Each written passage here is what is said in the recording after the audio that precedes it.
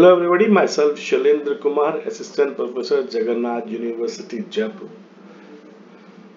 Today I am going to discuss on the topic Doordarshan, birth of Indian television. Doordarshan, DD, the National Television Network of India, began its first experimental broadcast on September 15, 1959 from its first station in New Delhi. By 1965, this exper experiment became a full-fledged service when DD started telecasting signals to reach TV sets within houses in and around New Delhi. By 1972, the DD's services were extended to Bombay, Mumbai and Amritsar and then on the seven other cities by 1975. Till 1982 the transmission was mainly in black and white.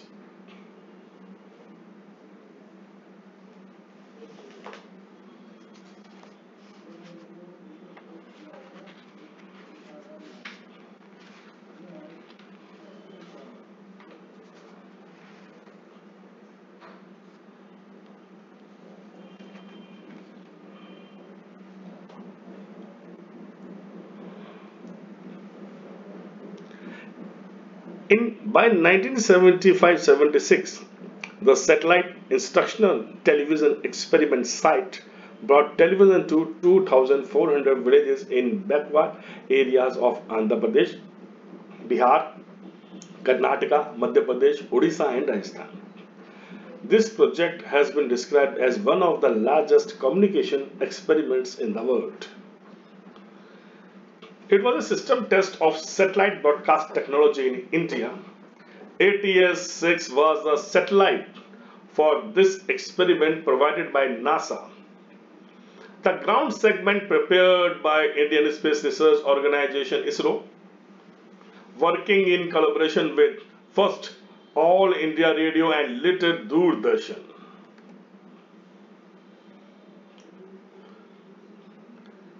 In 1976, TV is separated from AIR named Doordarshan. 1976 witnessed the advent of advertising on Doordarshan and in the history of television in India. Commercialization of Doordarshan saw the development of soap operas, situational comedies, dramas, musical programs, quiz shows. The first turning point in the history of television was when Doordarshan introduced color television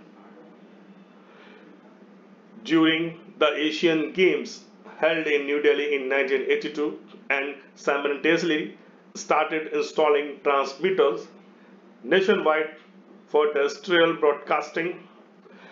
It is significant to note that during that period, no private enterprise was allowed to set up TV stations or to transmit TV signals. The second turning point came in the early 90s when the foreign, foreign channels like CNN, cable news network, Star TV and domestic channels such as Zee TV and Sun TV started broadcast of satellite signals. That is how people of India got the opportunity to watch regional, national and international programs.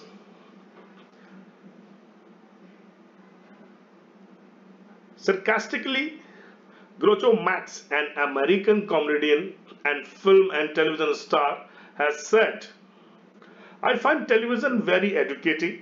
Every time somebody turns on the set, I go into the other room and read a book. Should we blame TV for that? Should it be used only for education or only for entertainment or for both? Like you go to your class room in the morning for attending class or counseling sessions. In the break, you go to canteen or for refreshment or for lunch and then come back to your respective class or working place and finally you go back home and retire for the day in the same way with the remote in hand you go on to serve different channels on of TV select a channel based on your need you may first go to some news channels for news or headlines. Then you may switch over to Discovery or National Geographic or educating yourself with new kind of knowledge which you may not find in any book or in your textbook in particular after some time you may like to see a movie or a reality show just to entertain yourself one way convince you easily by the logic that it is you which decided whether TV should be used for entertainment or education or both. Television always had a great potential to become a medium of instruction and this potential had been explored and utilized in the field of education, especially in distance education. We may list various functions of television in delivering education through distance mode like supporting and enhancing teaching, interesting, explaining, clarifying, motivating and encouraging, encouraging the presenting unreachable facts and events. In 1993, a 10 year long first IGNOU and ISRO teleconferencing experiment was done covering 525 participants. This experiment demonstrated the possibility of using one-way television with two-way audio wherein all students could view and interact with the teacher and simultaneously the teacher could listen to all participating students through phone at remote sites. It became a major landmark in the extensive and continuous use of teleconferencing for distance education.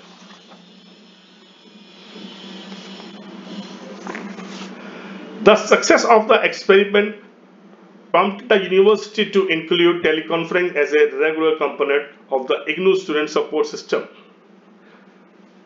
The Open University in UK, which is considered as a pioneer of, in the field of distance education, had already demonstrated the instructional power of television. Parallel to UKOU, IGNOU was established by a special act of parliament to impart education through the mode of open and distance learning and adopted a multimedia approach for transacting the course material through print, audio and television.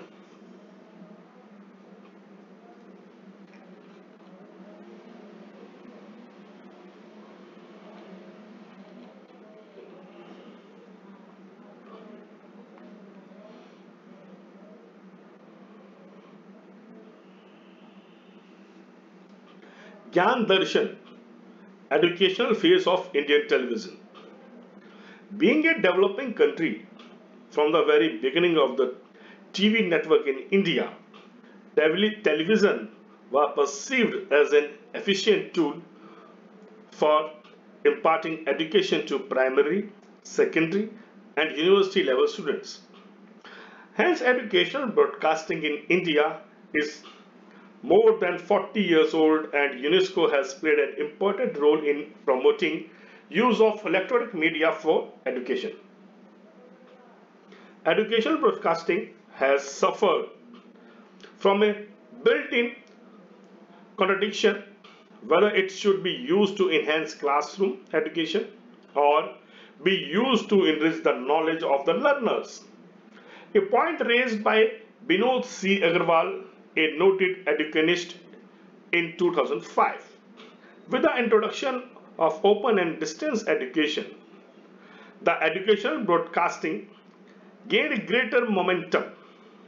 The potential of electronic media, particularly television, was recognized because of the distance, neutrality, and simultaneously reach in covering large areas.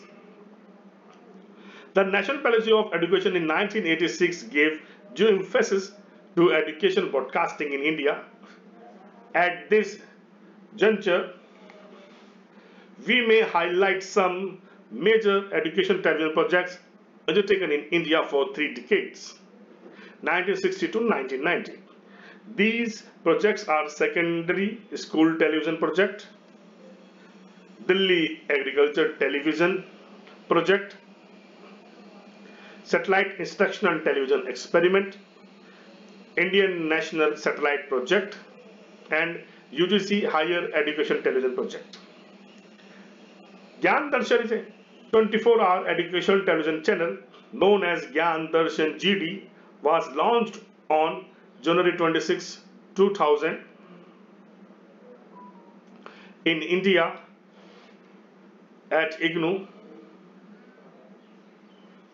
It was considered to be a major milestone in the field of educational broadcasting in India as a joint venture of the Ministry of Human Resources Development and Information and Broadcasting. Prasar Bharati and IGNOU Gyan Darshan, a fully digital exclusive education TV channel, was a digital bank bucket of four channels GD1 Prime Channel, GD2 Interactive Distance Education Channel, GD3 Eklavya Technology Education Channel, and GD3 Vyas Higher Education Channel. Nevertheless, due to some financial, administrative, and technical reasons, the Gyan channel was off air on June 4, 2014, and it was back on air on October 4, 2017, with a gap of more than three years.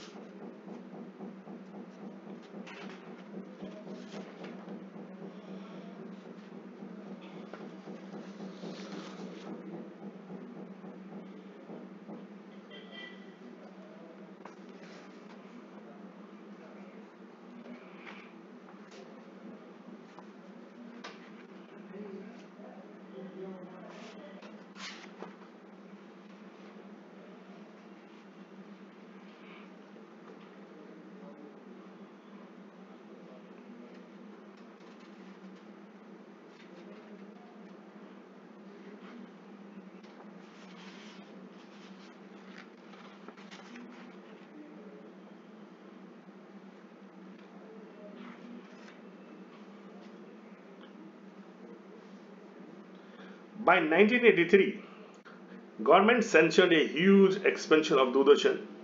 Several new transmitters were set up throughout the country.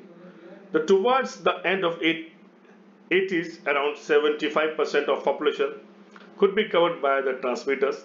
Many of the programs of Doordarshan like Hum Log, Bunyad, Nukkad were very popular.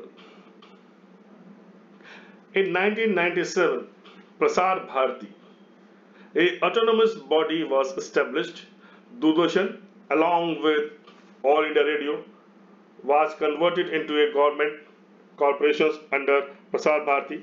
The Prasar Bharati Corporation was established to serve as a public service broadcaster of the country, which would achieve its objectives and through AIR and DD.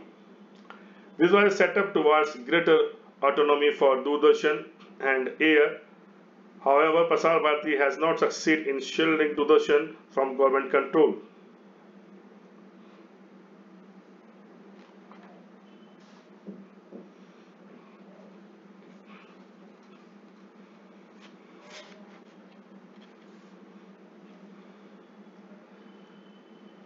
So, you have seen how Doordarshan has evolved over the years, but today we have many channels other than Doordarshan. You may have heard the term satellite channels. Generally, satellites are used for communication or research purposes. Man-made satellites are objects which are launched to orbit the Earth or any other body. Let us see how satellite helps in bringing your favorite television channels to your homes. What is the relationship between a satellite and a serial that you see in the cable network? They might seem completely unrelated, but communication satellites are instrumental in bringing the serial to your home. Have you ever owned a television set with an antenna which had to be positioned exactly to catch the signal? A heavy rain or rough weather can disrupt your television viewing in such a case. The introduction of communication satellites has improved the situation greatly. How many channels can you watch on your television set? Star TV, Ask NDTV, Zee, etc. are a few of many television channels available to us today. As your mother, if she had such a wide choice of channels in her childhood, the answer will be no. This is because these private channels came into the Indian television scene quite recently. In the early days, Doordarshan has a monopoly as it was the only channel available to the Indian television audience. This changed in the 90s with the arrival of private channels. The coverage of Gulf War by the American news channel Cable News Network propelled the arrival of satellite television in India. Satellite dishes were used to catch the signal signals and cable operators took to satellite broadcasting immediately. Hong Kong-based Star Satellite Television Asian region entered into an agreement with an Indian company and Zee TV was born. It became first privately owned Hindi satellite channel of India.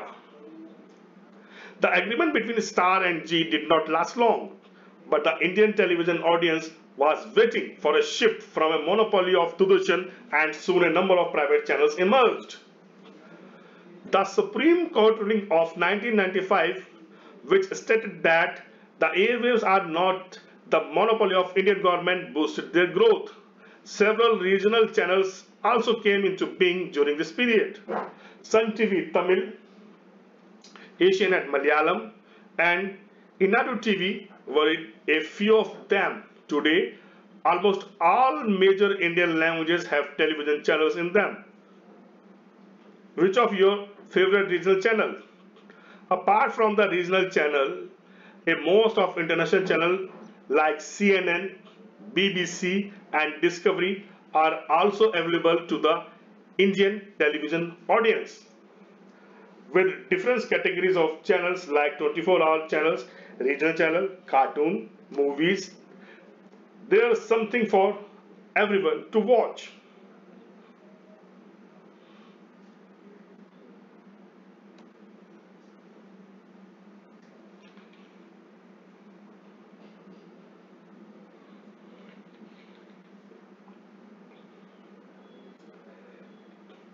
We have seen that television is an immensely popular medium of mass communication. It is very much integrated into your daily lives and have power to influence our outlooks. This influence can have both positive and negative results. On the positive front, television can be an excellent teacher. Would not your younger sister get if a cartoon show teaches her mathematics? Television can also be used as an excellent medium for mass education as in the SITE experiment. Identify one program in your favorite channel which can have a positive impact on society. Television can also open up new horizons for us. Sitting up in your living room, you can access information about what is happening in a distant country like Iraq by just a click of the remote.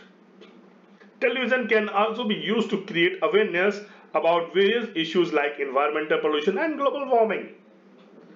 Can you recall any program or public service advertisement which has increased our awareness about the need to conserve our environment?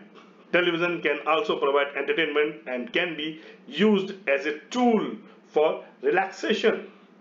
As a child, have you ever nagged your parents to get the brand of chocolate advertised on TV?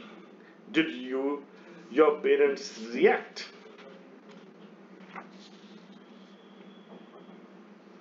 We all know the television in the area of new media. We all know that internet has just and impacted each and every field of our life. Television is also not an exception. Due to its impact on television, we can see the modified form of TV and its content now.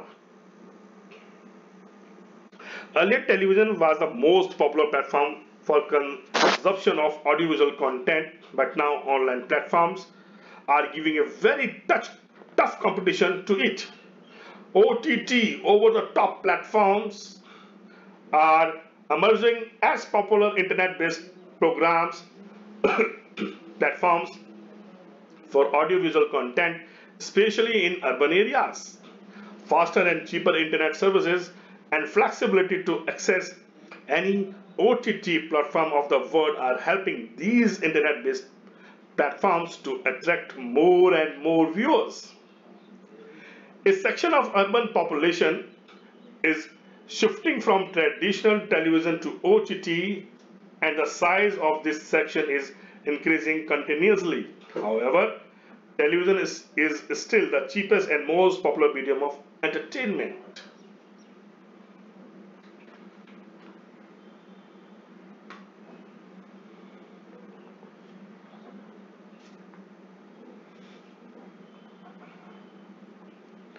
Television and online media are not just competing with each other, the two are also mixing with each other.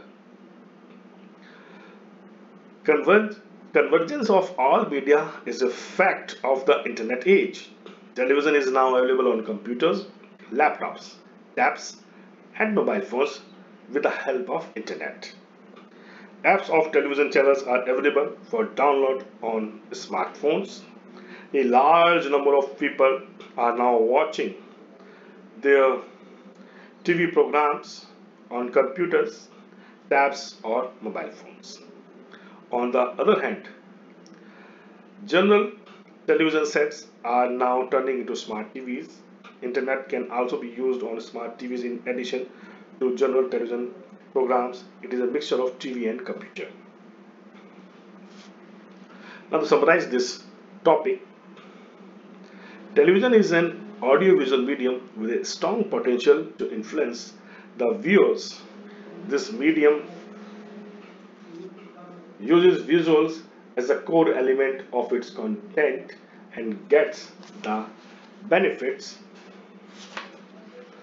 of audio to support and enhance the quality of its program. This medium is being used for various purposes like entertainment, news, sports, infotainment, education, etc. In the present era of internet, television is also changing. Now, television channels are available on computers,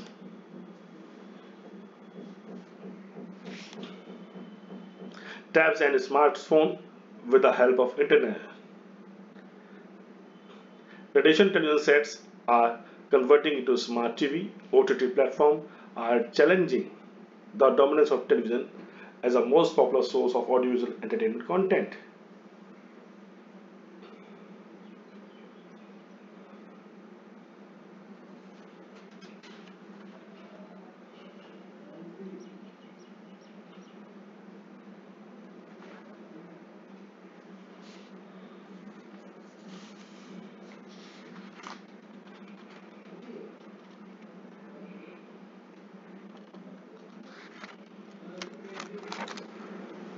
Every medium has some Advantages and disadvantages including television. Few limitations of television. It is primar primarily a one-way communication medium. It requires electricity for access. Most of the television services are still linear, which makes this medium an appointment medium. It means if you want to watch certain program, you will have to switch your TV set on at a certain specific time. However, many DTH services are offering recording facilities too. Both production and transmission of program are comparatively costly. It is not portable, however, television programs can be viewed on smartphone with the help of internet. Presenting in-depth information is little difficult through this medium. That is probably why after the television revolution, newspapers start focusing on detailed news reports and in-depth features. It is only visible within the allotted range power of the transmission or around the footprints of the satellite carrying the television signal. Television now been continuously changing with the changing technology. Thank you.